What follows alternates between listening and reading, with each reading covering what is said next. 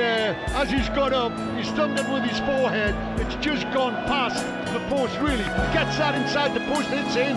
Oh, Aurier read that well against Djenepo. And then it's won back off him by Højbjerg. Højbjerg plays it down the left for him. Ings pushed back, it not? What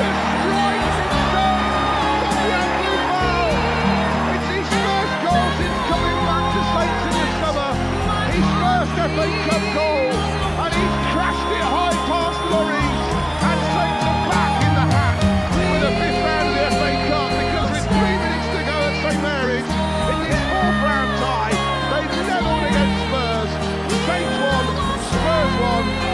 well off the bench and